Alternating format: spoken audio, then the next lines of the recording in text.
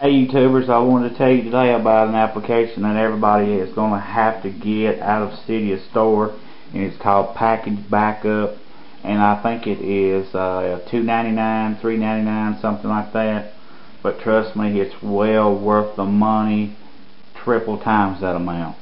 Um, say for instance you had something happen to your phone and you had to uh, re-jailbreak it okay before the before this problem happened, you had actually gone into package backup and performed a backup.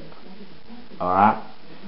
Instead of having to dig through Cydia and Icy or wherever you found all your different applications, all you have to do is come over to your uh, to your actually you're going to have to re-jailbreak your phone, of course.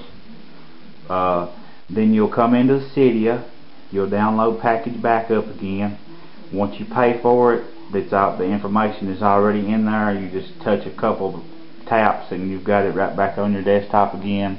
Open it up. Down here at the bottom of the screen, you're going to see two, three different buttons. You're going to have a backup, a, a restore, and over here is a backup.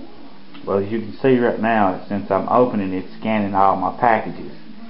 And we'll go ahead and do a backup right now. As you'll see, it, it, it does everything automatically all you have to do is go in and sign up for a Dropbox account and you don't even have to do that. If you want to actually have these things these uh, backups emailed to you as a contact you can use them that way also even without a Dropbox account. But I have found that a Dropbox account is actually the simplest and fastest way for me to do it and you can see right now it's uploading my backup to Dropbox. It does everything automatically. You don't have to touch anything. And like I said a while ago, if you've had this problem, after, after you re-jailbreak your phone, you come back in here, you've got your backup now. All you have to do is come down here at the bottom, click restore. And if I were to click restore again, then it would actually go in and start doing the restoration which you know we don't need to do that right now. But that, as you can see right now I've got 137 applications installed on my phone. And that would be an awful lot of work to have to do to go back and re-download all those one at a time. Or try to put them all in a queue and do it all you know. You're not going to get 137 applications in one queue I can tell you that right now. So like I said go to Cydia buy it.